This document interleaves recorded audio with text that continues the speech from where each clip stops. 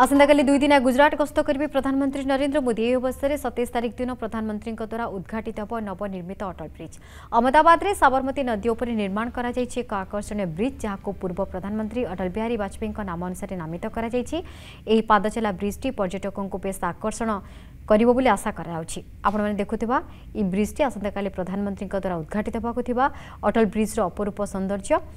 ଆକର୍ଷଣୀୟ ଆଲୋକମାଳାରେ ସଜି ହୋଇଛି ବ୍ରିଜ୍ଟି ତେଣୁ ଏହା ପର୍ଯ୍ୟଟକଙ୍କ ପାଇଁ ମଧ୍ୟ ଆକର୍ଷଣ ସାଜିବ ଏହାକୁ ଦେଶର ସବୁଠୁ ବଡ଼ ପାଦଚଲା ବା ଫୁଟ୍ ଓଭର୍ ବ୍ରିଜ୍ ବୋଲି କୁହାଯାଉଛି ଏହି ବ୍ରିଜ୍ର ଉଦ୍ଘାଟନ ସହ ଦୁଇ ଦିନ ମଧ୍ୟରେ ଅନ୍ୟ କେତେକ କାର୍ଯ୍ୟକ୍ରମରେ ମଧ୍ୟ ଯୋଗଦେବେ ପ୍ରଧାନମନ୍ତ୍ରୀ